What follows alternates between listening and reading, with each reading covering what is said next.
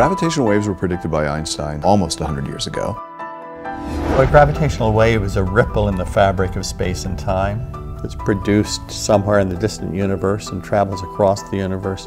When any massive object moves, it's changing the nature of space-time. That's what Einstein told us. So you have a motion that stretches space in one direction and compresses space in the other direction. Nobody really believed at the time of the prediction that you could ever detect them because the size of the effect is so small.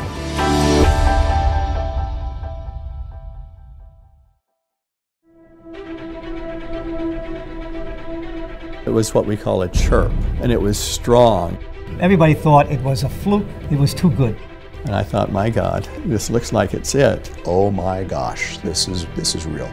It took us 25 years and two detectors to finally detect a gravitational wave. We have interferometers, one in Hanford, Washington, one in Livingston, Louisiana, to detect the stretching and compressing of space. We literally look for changes in the space-time distance in our instruments as the gravitational wave goes by. And the gravitational wave pushes them together and apart by one one thousandth the diameter of the nucleus of an atom. No wonder it's taken so long to pull this off. However, what's even more remarkable about this is what we detected. We have observed gravitational waves from two black holes forming a larger black hole.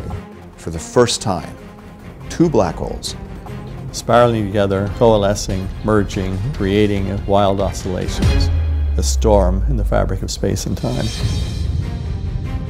They're moving at the velocity of light, damn near that velocity.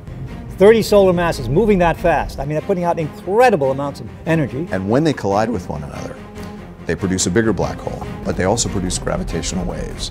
And in that process, about three solar masses just disappears and goes into gravitational waves. Oh, it's going to be amazing. We have always said that this is going to be uh, a field called gravitational wave astronomy. Gravitational waves carry information that you can't get from any other way. A supernova, two neutron stars colliding, even the Big Bang itself, the beginning of the universe, all produce gravitational waves. This first detection by LIGO is the very first step. It's just the start of the story nature is about to tell us. I would love to see Einstein's face. I mean, he would have been as dumbfounded as we are, because it's a wonderful proof that all of this incredible stuff, the strong field gravity, is in his equations. Just imagine that. To me, that's a miracle.